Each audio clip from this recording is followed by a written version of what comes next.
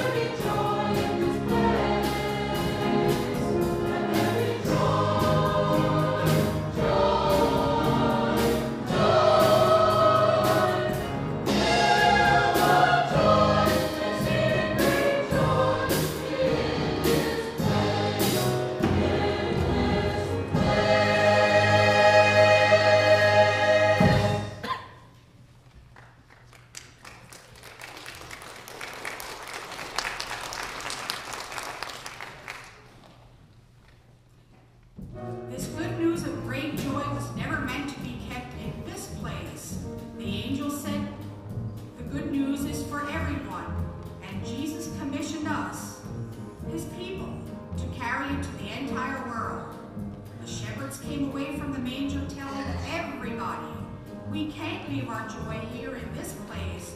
We must go out and tell the good news to everyone